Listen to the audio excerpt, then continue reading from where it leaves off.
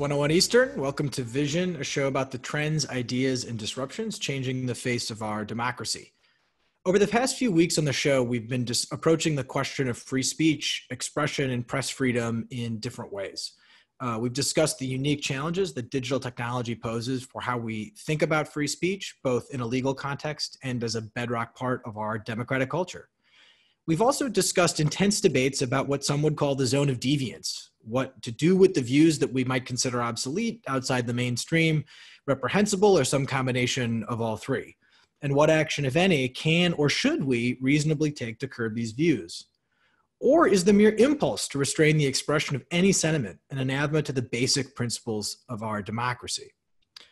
UCLA law professor Eugene Volokh has been one of the most persistent and forceful proponents of the First Amendment uh, and a longtime commentator on these issues whose work is widely cited in a legal context and uh, in mainstream thought. He was also early to capitalize on the power of the internet to spread ideas and discussion, founding the now famous blog, The Volokh Conspiracy. Delighted to have him with us today. Please welcome to the show, Eugene Volokh. Uh, thanks very much. Uh, thank you for having me. Yeah, thanks for being with us. Um, I'd love to sort of, I mean, you really are, are one of the key commentators, observers, and scholars of the of the First Amendment, and so I'd love to start by just having you um, give us a sense of sort of the status of free speech, both in a First Amendment context. You know, what's the status of the law of of this set of rights, um, but also culturally, to the extent that the idea that f- there's a the, the the marketplace of ideas that free and open discourse is sort of a critical part of the liberal American democratic project, what the state of the culture as well. So just give us a sense of sort of how you see the world of expression and speech. Well, when it comes to First Amendment rules as enforced by the courts, they're about as broad as they've ever been. Uh, the Supreme Court, both the conservatives and the liberals on it, are pretty committed to protecting a broad range of free speech against government suppression.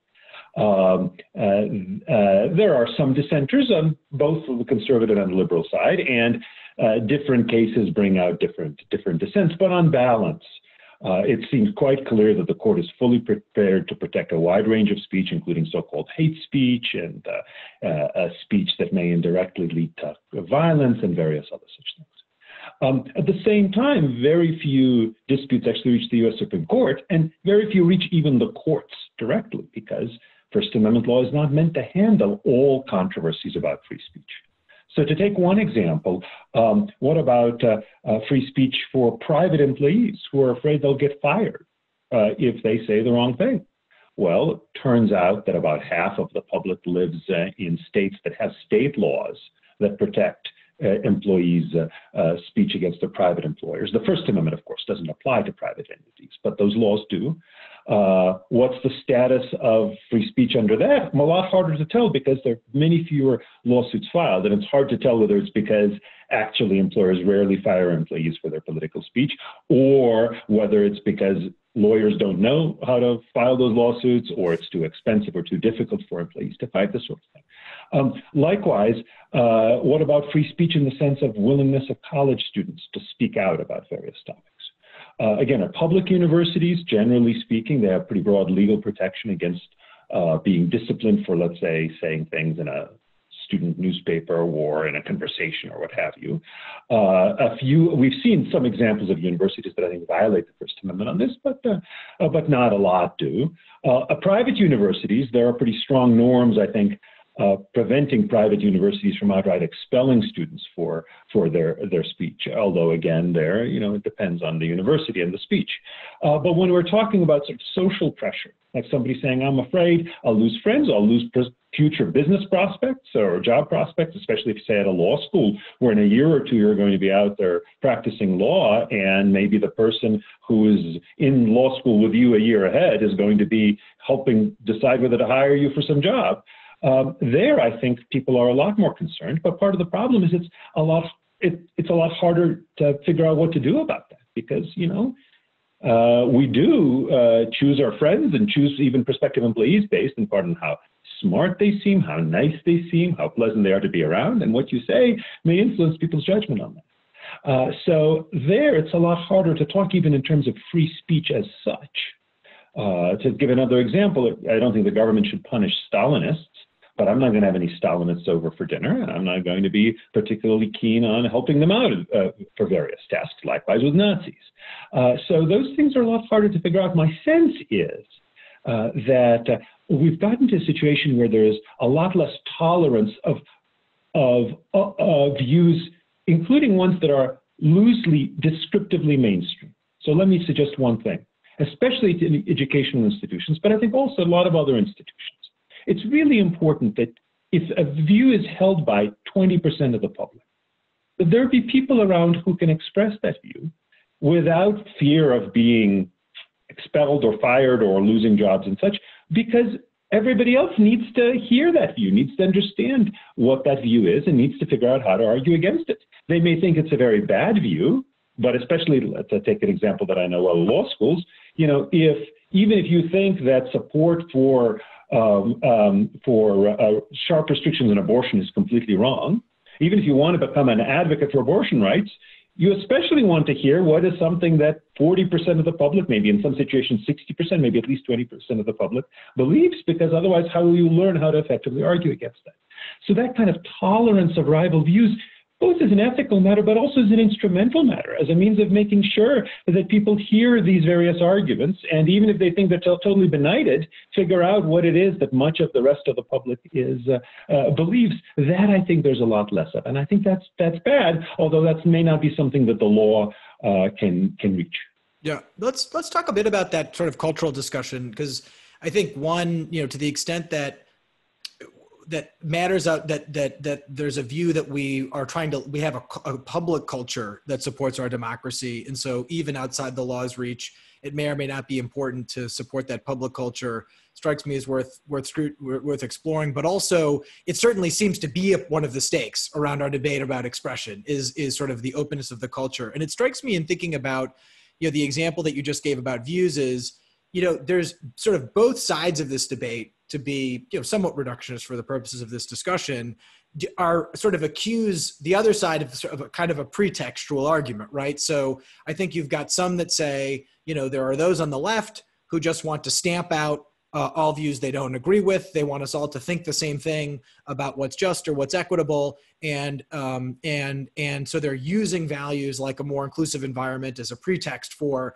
their view has to be ascendant and then I think you would have someone on the left who would say, um, look, there are real imbalances of power here. And the idea that we need to cultivate an open marketplace in which different ideas can come, um, can be heard fairly to sort of improve our general understanding, to hone our own arguments for why to maybe dismiss those arguments we don't agree with, et cetera, all of the sort of salutary benefits of the marketplace of ideas. That's just a pretext um, to allow this person to kind of continue to enforce this power imbalance um, that favors that favors their view. I, I, imagine these sorts of discussions are happening on your campus and certainly uh, in other campuses uh, that you've observed. How do you how do you sort of evaluate these kind of political manifestations of, of this of this debate? Well, I'm I tend to be not terribly interested in most situations in questions of whether whether some something is pretext or not.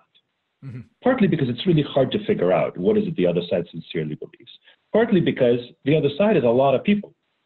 So maybe a few of them I can I find leaked copies of emails from them where they say, ha ha ha ha ha, uh, we're claiming we're in favor of free speech, but really we're just trying to, to better suppress the other side's views. But then there'll be other people for whom I can't find those emails, but because no such emails exist, because they actually do sincerely uh, um, uh, uh, uh, support free speech. So what's the point of my making an argument, at least if I'm trying to get at the truth rather than just political victory? Yeah. What's the point of make, my making an argument about uh, about the person's pretext uh, uh, when it's when that doesn't really tell us what the right answer is? Now, I'm sure there have been times when I've focused on pretext, and in some situations it's relevant. In some legal questions, for instance, what the actual basis for a decision is is is relevant. But I'm less interested in what people are really motivated by, and more what are sensible rules. So, to take an example. Um, there's no doubt that there is a vast range of power imbalances. Uh, and they, they, they, of course, operate different ways in different contexts. So, for example, uh, Islam is relatively less powerful in the sense of a set of people who hold a particular complex of views. Uh, in the US, just because there are a lot fewer people uh, who, uh, uh, who are Muslims than, than say, who are, who are Christians or even who are atheists. On the other hand, in the world at large, Islam is, of course, is a tremendously powerful force. And in some countries, Islam is the dominant force, and, and, is, and at least some facets of it are an are oppressive, uh, oppressive force.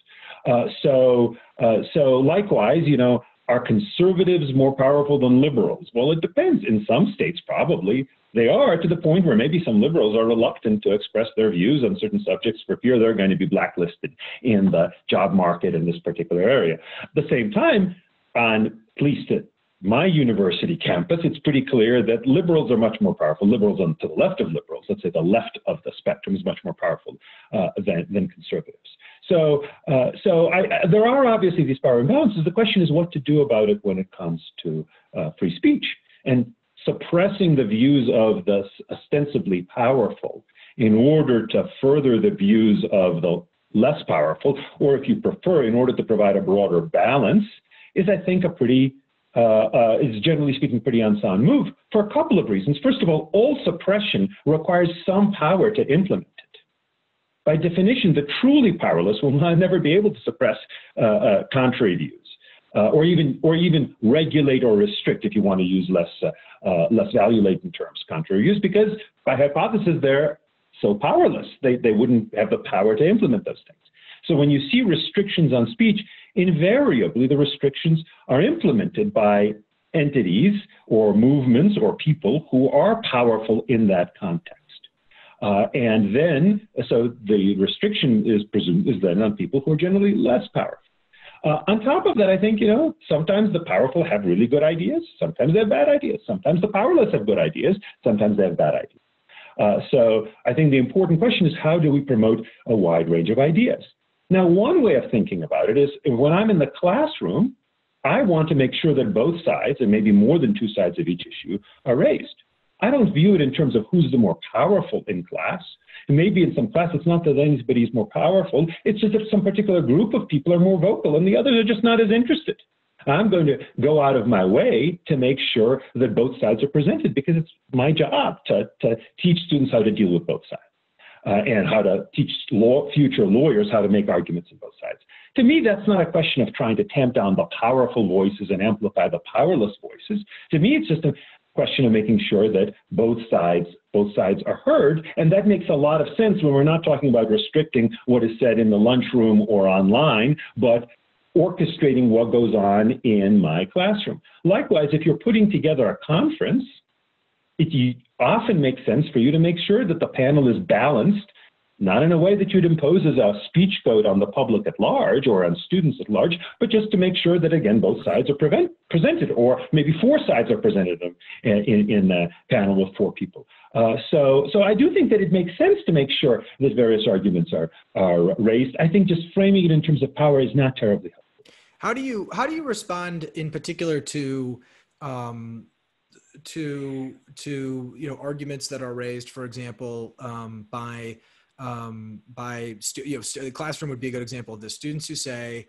um, you know, look, air, airing uh, you know X particular view in in this way, um, you know, is a really traumatic experience for me, and so whether you think that's material harm or not, it certainly excludes me from the conversation, and it and it's traumatic for me because of a context um, that I bring in, that we all bring in before we get in the classroom. So even if your idealized classroom is a place where all views can be aired, you have to accept the fact that I'm not, I don't just exist in this law classroom. I come in this classroom as someone who, you know, maybe had been uh, on the receiving end of some, you know, I'm thinking of racial epithets that maybe are used for pedagogical reasons as examples. Um, that, that those terms were used for a very specific purpose for a very long period of time for the deliberate purpose of oppression. And i how can i how can i really feel included in this classroom if i can't divorce my full self um, from from from the moment in which the term is being used? How have you encountered or evaluated those sorts of those sorts of arguments? Well so i'm a law professor and maybe maybe the analysis might be different to professors in other disciplines. I, I can't speak for that with confidence although i have some suspicions. But i'm a law professor which means i have to train future lawyers and future lawyers have to um, uh, be prepared to work in an environment where they're going to hear a wide range of things being pressed, sometimes at great length and with great detail, that they may find offensive, traumatic, if you prefer, whatever, uh, whatever you want. It's kind of like uh, doctors and blood. And it, it's natural to be upset at blood and gore and death, but if you're going to be trained to be a doctor, you need to prepare yourself for that. Likewise, if you want to be a psychotherapist, uh, it's natural to be very upset at people recounting stories of how they were abused or maybe fantasies about how they may want to abuse somebody. It's perfectly natural. And for some people, it's even more so because the would be psychotherapist is going in there having been abused herself, let's say, as a child or himself as a child. Um, but you have to be prepared for that as a psychotherapist.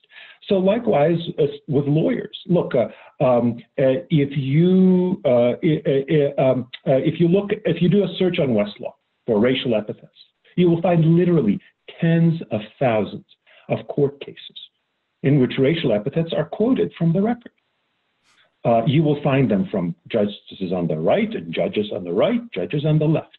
You'll find them in opinions by Justice Sotomayor, by Justice Ginsburg, by Judge Pregerson in the Ninth Circuit, a, liberal titan who died a few years ago. Uh, this is what you're going to deal with because the legal system has to deal with this. People testify in court. This is what this person called me, uh, right? Uh, um, and uh, uh and uh, you need to be prepared for that uh, if you are going to do a good job on behalf of your of your client. So you may need, you may be in a position where right there, you're on the spot and somebody quotes some racial epithet. And if you, if you feel traumatized and if you freeze up at that point, you will be doing a bad job. So the best way we can find of trying to figure out to deal with that is to actually in, to to, uh, to make sure that uh, uh, in the when you're in the classroom you learn to be prepared for that kind of thing uh, when when there's a lot less at stake. But but it's funny people mention racial epithets, but think of so much more traumatizing things. I mean, imagine imagine somebody talking about uh, uh, about rape. And uh, probably in every class, there have been some people, uh, predominantly women, but not only, who've been raped, whether forcibly or molested as children or whatever else. There, if it's a criminal law class, if they're going to become criminal lawyers, they have to learn to deal with that. What's more, they have to learn to hear arguments saying, "Oh, that woman, she's lying about being raped." Uh, or, uh, uh, or we need to be able to introduce evidence of her past sexual history in order to discredit. In fact, sometimes they may need to make those arguments themselves on behalf of their clients. Uh, I could certainly see why people might find it difficult in the classroom to make those arguments or even hear those arguments being made. But we can't train them as lawyers if we constantly shield them from these things that are a normal part of legal practice. And again, I think about psychotherapy or uh, counseling or various other kinds of things. If you're not prepared to hear even things that are really quite offensive in various ways, uh, from from your client. Not when the client is insulting you, but when the client is talking about an incident that happened in his life, whether he was the guilty party, often a lot of your clients might be, or whether he was the victimized party. If you're not prepared to deal with that, you're not going to be a good psychotherapist. So, Likewise with lawyers. So if we adopt sort of that kind of functionalism perspective, like the question is, what is the what's the kind of function of the environment? You know, another place that this debate has come up recently of course, is in newsrooms, right? And you have, I think, kind of two competing versions of functionalism. So, you know, one is, so I, you know, the, obviously the most notable example of this is um, the debate that erupted at the New York Times over the an op-ed by Senator Tom Cotton um, ultimately led to the dismissal of the op-ed page editor James Bennet. Now there was wrapped up in that questions of whether you know the sort of the job was done well around editing it, but certainly a big part of what sparked the discussion was the appearance of the op-ed, which for the, you know those who haven't followed this, uh, it made the argument for deploying federal troops uh, in order to help uh, quell the some of the protests happening after the the killing of George Floyd, and um, you know there you're now seeing for example in newsrooms a discussion where it used to be sort of thought that there's a newsroom there's an op-ed page and the whole point of the op-ed page is to get lots of different views including views that maybe some would find really challenging. And you're now hearing um, arguments that say um,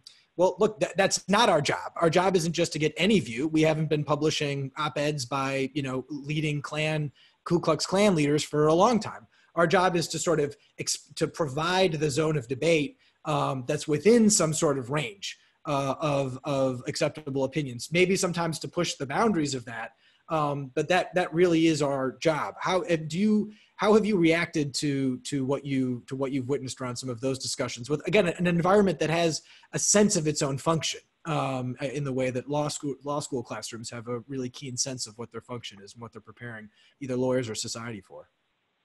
So I think you're quite right that the frame is a matter of function, and I think one thing that's worth keeping in mind is uh, in the uh, in the media uh, uh field, uh, even in the loosely new, uh, newsy media field, there have long been institutions that have had different functions.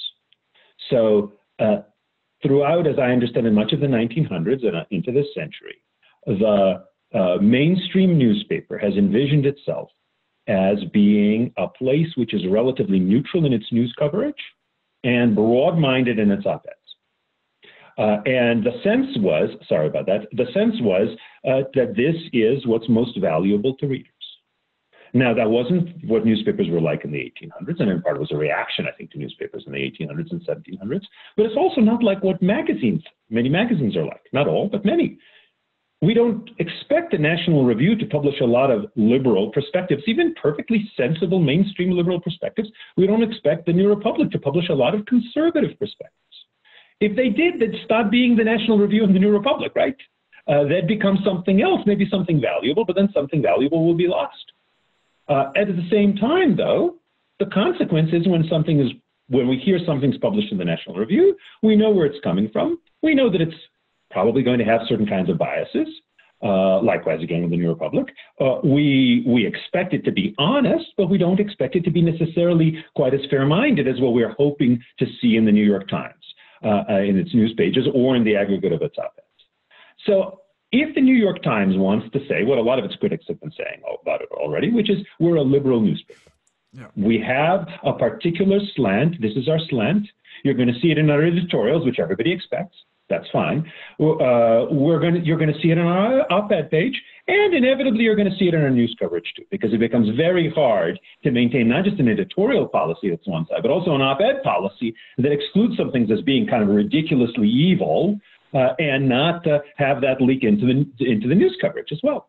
So if that's why the New the New York Times wants to be, you know, I think that's fine. But I think we have to understand that that's going to be both a cost to its credibility, or at least its credibility as a particular organization, and a cost to its readership. So what should an op-ed page have? Uh, now, I don't think an op-ed page, even in a mainstream balanced newspaper, can be viewpoint neutral in its coverage or content neutral. It's, impossible. In fact, the whole point of an op-ed page is to for the editors to select viewpoints that are of interest to the readers and are going to be kind of presented in an interesting way.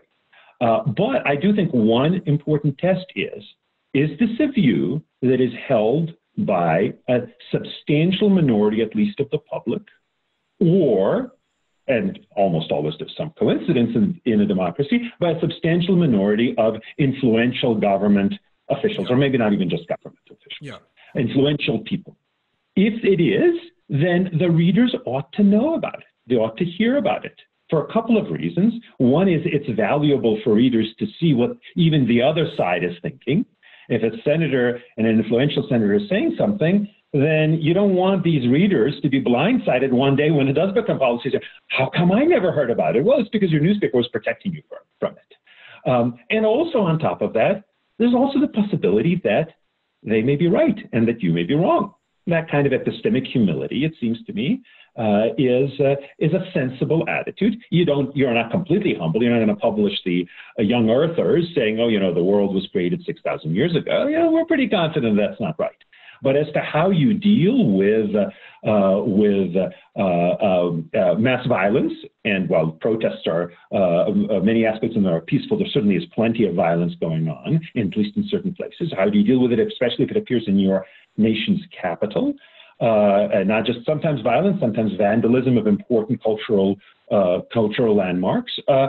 is an interesting and important question. You might feel pretty confident that the right answer is X, but you ought to have a little bit of skepticism about your conference to the point where if we think that 40% of the public thinks the answer is Y, we ought to hear at least the, the most interesting and best articulated explanation of that. So I think that's good. Again, that's not what we expect from the National Review or the New Republic. And if the New York Times wants to say we're going to be the New Republic of of newspapers that we're going to be have a, a candidly uh, moderate liberal perspective and maybe do things within some zone of this moderate liberal center of ours, which is basically the far left first and then the center, somewhere in between, that's fine. But I think they have to understand that uh, uh, that there there's a cost to that uh, uh that they were been trying to avoid by having a more mainstream, oh excuse me, more ecumenical view for many decades now.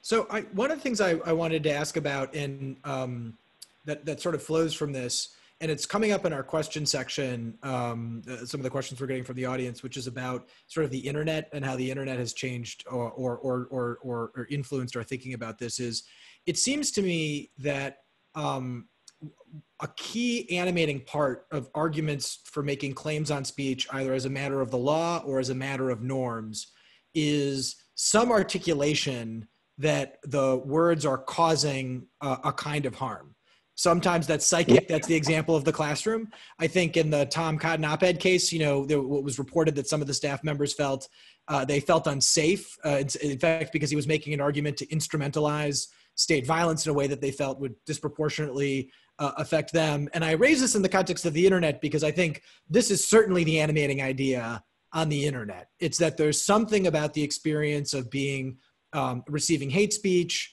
being harassed, being trolled at the sort of scale and intensity of the internet, of being exposed to misinformation, you know, at the sort of scale and intensity of the internet, that makes it a place where I think a lot of people are particularly concerned um, about whether, as a matter of the law, maybe not as a matter of, of, of sort of the doctrine of First Amendment free speech, but as a matter of the law, we ought to do more to to create standards of responsibility for the kinds of ideas, content, expression that people should be exposed to. And I'm curious to think about how you how you think about the, that question of harm, but also the, the, the digital dimension of that question. Right. So one thing that I always try to impress on my students is that uh, uh, speech, the protection we offer speech, does not come from the sense that speech is harmless. If speech were harmless, then it seems pretty likely it would be benefitless too. Uh, that if speech were harmless because speech never leads to, to people acting badly, then it'd be hard to see why it would lead to people acting well. Speech can be quite influential, and it can be influential for good as and it can be influential for ill. And if you want an example of that, let's look at the famous, uh, the famous, excuse me, the Supreme Court's uh, most prominent and really pretty much only uh, squarely decided hate crime case. Supreme Court has said you can't restrict so, so, so-called hate speech, but you can restrict hate crimes and which is to say you can impose higher penalties on uh, assault or murder or vandalism or, or other crimes that are motivated by the target's race, religion, sexual orientation, and such. So let's look at the facts of Wisconsin v. Mitchell. Uh, so the defendant, uh, uh um, uh, uh, Todd Mitchell, was watching together with several other young black men and boys the movie Mississippi Burning. And then, shortly afterwards, uh, uh, the, there was a group, uh, the, the, group of people moved outside. I'm reading from the opinion, and Mitchell asked them, "Do you all feel hyped up to move on some white people?" Shortly thereafter, a young white boy approached the group on the opposite side of the street where they were standing. As the boy walked by, Mitchell said, "You all want to fuck somebody up? There goes a white boy. Go get him." Uh, they attacked him. Uh, they beat him unconscious. He was in a coma for four days. So, if you're talking about pure cause and effect, I think it is fair to say that the movie Mississippi Burning, which is of course about an important, uh, I think a very well regarded movie about a very important incident from the civil rights era where there was an attack on, um, I think, murder of, of several whites by, by uh, of several blacks by, by, by whites. And actually, I don't think it was just just blacks, but in any case, murder by white racists in in, in the South. Um, uh, so so, but if you look at it pure, from a purely causal perspective, the watching of the movie Mississippi Burning led to almost led to, to murder and at the very least led to an extraordinarily severe assault. What do you do about that? I think our answer is well, it's true, a lot of speech does indeed help causally contribute to some bad behavior by some small fraction of the audience. But we can't restrict speech simply because of that tendency.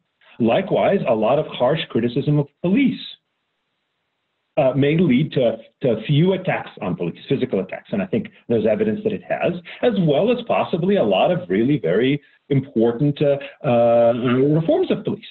Uh, the same thing is true with all movements. All movements uh, and all speech. There's labor speech, uh, anti-abortion speech, anti-war speech, various other kinds of things. There are going to be there's going to be some people who act on it in a violent uh, uh, way or a criminal way, and, and there are going to be other people who don't. So so the law has come to the conclusion that you can't suppress speech even when we do see that in some measure it causes violence, except in extremely rare and narrow circumstances. But it's not just because the justices just decided this on high one day uh, uh, through philosophical reasoning. It's because for the 50 years before, they've been struggling with similar examples where, in fact, the government did get away with restricting speech. For example, uh, advocacy of a, a, communist revolution did get away with restricting such speech because of the fear that it would lead to, to crime and violence. Uh, and then the justices, uh, uh, on reflection, concluded that allowing those kinds of restrictions was a mistake. Uh, and I think it continues to be a mistake today, regardless of whether the target of the restrictions is far left advocacy or far right advocacy or anything in between.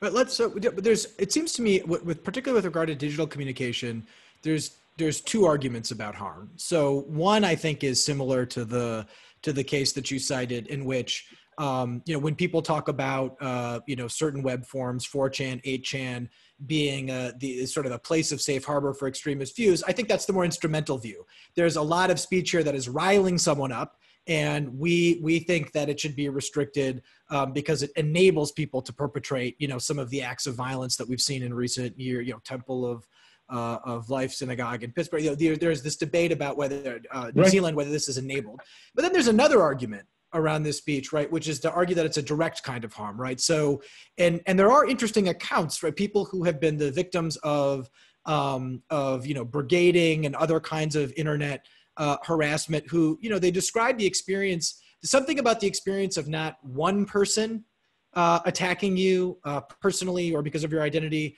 but you know thousands, tens of thousands of people, uh, you know, it, with a kind of instantaneity that feels some people will say you know it feels like it's the whole world is collapsing in on me they're describing a real sort of psychophysical experience. Do you do you make a distinction between an, that the, an argument about instrumental harm that just happens to be digitized versus an argument that this is this certain kinds of speech amplified by the internet is really a direct kind of harm on me well, I was focusing on the on the uh, uh, potential of of uh, violent action yeah. because that's yeah. what I think you were getting at with the Cotton op-ed. Yes, although yes, there, absolutely. the concern was the government would act in violent violent ways. Well, the government, its job is often to act in violent ways, and yeah. then I think it's important to have a debate about which kinds of government violence are proper and which are not. Uh, but uh, uh, but when you're the, the point you're describing is a very interesting and important point. It reflects the fact that we're all social creatures we have evolved to care about the views of our fellows. Uh, and uh, it's totally understandable that people would be quite upset about these, this kind of mass criticism. Part of the problem, though, is if you look at the, at the labels people give, brigading, cyberbullying, harassing, those aren't exactly well-defined legal terms. Harassment actually is defined in the law, which is defined very different ways in different contexts, and sometimes defined quite vaguely. Brigading, cyberbullying, by and large, this is not something on which there's a very very firm uh, definition. And then so one might want to ask, well, what is that definition and what exactly will it cover? And I think once one gets to that, one sees the difficulty of trying to suppress that kind of speech. So, for example, you talk about sort of mass criticism. Well, you know, this is what a lot of people experience when they post something online that some people say is racist or uh, Islamophobic or homophobic or whatever else, and they see all of this sharp criticism. Uh, which ranges from some of it may be actually outright death threats, which are unprotected by the First Amendment. Some of it may be really substantive, calm, polite responses. And much of it may be in between, like, oh, this person is a fool, this person is an idiot, this person deserves to be fired. You could imagine a law that says, well, this is all harassment and brigading. And that uh, uh, anytime you anytime there's a group of people who are sharply criticizing somebody using insulting terms or calling for them to be fired, then that will be a crime. Although then one might wonder, well, is, is it a, uh, when, when, does it start becoming a large group, and what happens? How do you decide who is the who are the ones who get in as the initial critics and who are no longer allowed? You can imagine a situation at that point the person could get an injunction, an order saying enough is enough. You've criticized me enough. Now you can't criticize me anymore you could imagine that it's not consistent with First Amendment law, but we can talk about changing First Amendment law. But, but at least we have to consider that it's going to end up covering a lot of criticism, including some fairly legitimate criticism, it seems to me. Uh, now you could say, well, only racist criticisms we're going to uh, we're going to uh, we're going to ban, but anti-racist criticisms, no matter how brigading they may be, no matter how much they may threaten a person's livelihood, well, that's okay. Well, that's not going to fly under existing First Amendment law, and I don't think the court will be persuaded to change its views because that is overt viewpoint discrimination yeah. of the sort that the court has expressly and repeatedly condemned. Uh, uh, but yes, if you'd like to talk about some such things, it, it would be nice to do that. And that, again, it would, would, be good to have a good definition of harassment and brigading, a good, uh, uh, uh, good set of test cases, some from the left, some from the right, some from the center. So, so our judgment isn't too much influenced about by our own prejudices in favor of one group or, or, or another.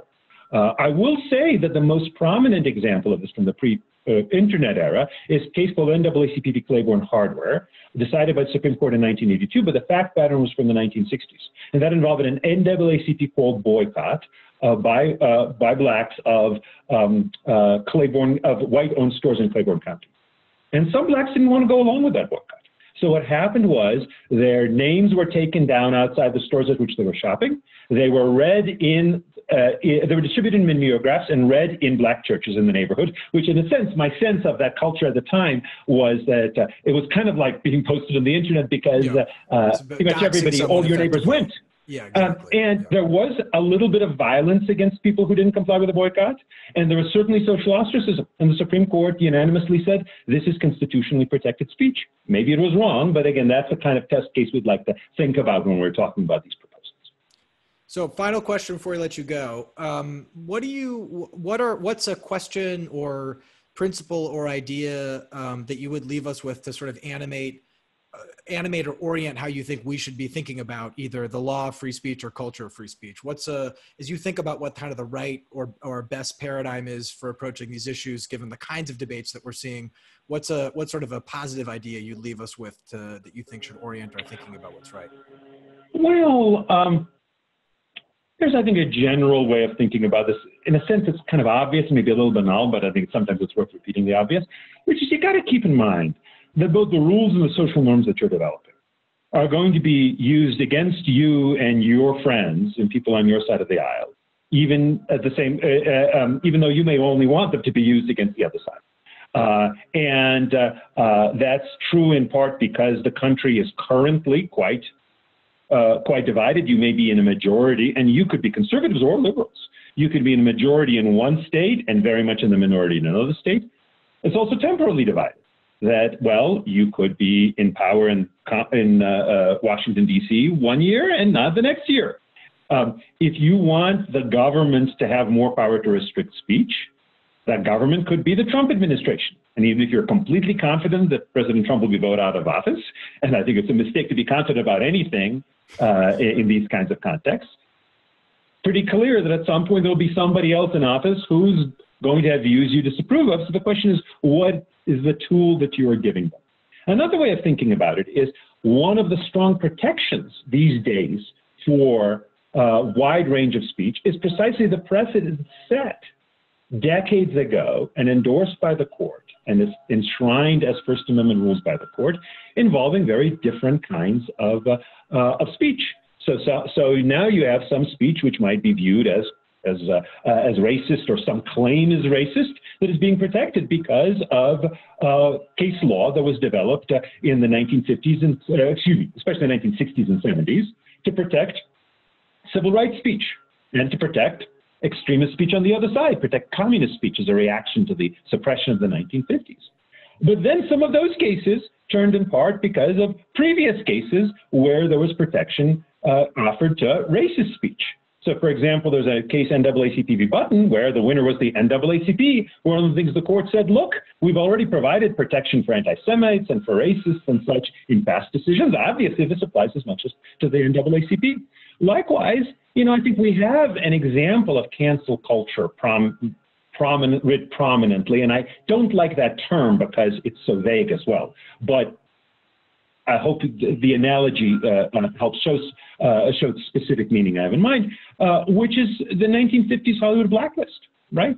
A lot of the arguments we're hearing that, well, you should, Why should anybody have to deal with and have to keep hiring people who they think have evil views? Why shouldn't they be free to not to associate with those people? Those are the arguments for the Hollywood blacklist. Like, why should we hire um, screenwriters and others who support a political system that, in which we might be killed because we're capitalists, or at least uh, our, our, rights and property would be taken away. And what's more, a lot of our audience doesn't want to see us supporting communists either, so we'll just blacklist them. Now, you might think that that was actually a good idea. You might think that the reaction to the Hollywood blacklist was a mistake, but it's important to realize that uh, uh, the the tools that are that are being validated um, in one era will be easily used against others in, in not so long from now. And conversely, to the extent that the reaction to Hollywood Blacklist was to protect people uh, from this kind of uh, uh, restriction, uh, that, that's one reason why we are seeing, I think, a lot of pushback against some aspects of, let's just say, calls for firing people for supposedly extremist views and the like today. Well, as expected, uh, provocative, inci- provocative and incisive. Eugene is incredibly prolific, so you should check out his work. We'll send you uh, a link to his uh, to his webpage at UCLA. You can also follow him on Twitter uh, at VolokhC, uh, and you can read uh, the Volokh Conspiracy at Reason.com backslash Volokh. Um, again, we'll put this out by email. But Eugene, thank you so much for joining us. We really appreciate it. Um, very much my pleasure. Very much my pleasure. Thanks for having me. Anytime. All right. Uh, before we go, everyone, I want to tell you about what's coming up on uh, Vision. Next week, we're going to have Jessica Gonzalez. She's CEO of the organization Free Press and one of the lead organizers of the Stop Hate for Profit campaign that has led to a significant advertiser boycott of Facebook. On August 6th, we'll have Lulu Garcia Navarro, the host of Weekend Edition Sunday on NPR. Uh, and on July 13th, we'll have, uh, on August 13th, excuse me, we'll have Yuval Levin. He's a leading commentator, editor of national affairs, and director of social, cultural, and constitutional studies at the American Enterprise Institute. Uh, this episode and every episode will be available on demand at kf.org slash vision. Email us at vision at kf.org or visit us on Instagram at vision.kf. Please take the survey on your screen now. As always, we'll end the show to the sounds of Miami singer-songwriter Nick County. You can find his music on Spotify. Until next week, stay safe. Thanks, everyone.